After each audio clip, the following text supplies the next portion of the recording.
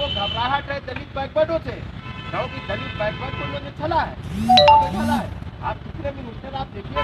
कौन सा कश्यप मिनिस्टर बन गया।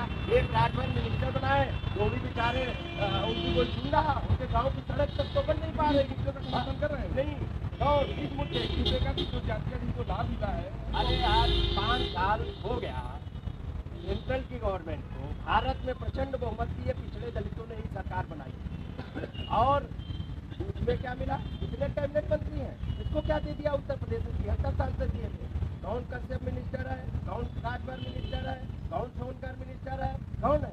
कोई नहीं। ये केवल भ्रामक प्रचार करके चुनाव है। अगर देना है वाकई में देना चाहते हो तो हमारी आबादी के साथ से हमको आरक्षण देना है। भारत में भी आपकी सरकार है। यहाँ भी हमारे नेता माननीय अखिलेश यादव जी लगातार कह रहे हैं, हमको आपस में क्यों लड़ा रहे हो? इनका काम है अंग्रेज़ों से सिखाई बोले ना डिवाइड एंड टू पहले हिंदू बांटते रहे। अब जातियों में बांटते हैं धर्मों में बांटते हैं। काम कुछ नहीं करना है। दो करोड़ नौकरियाँ मांग रहे हैं नौजवान। कहाँ गई नौकरियाँ?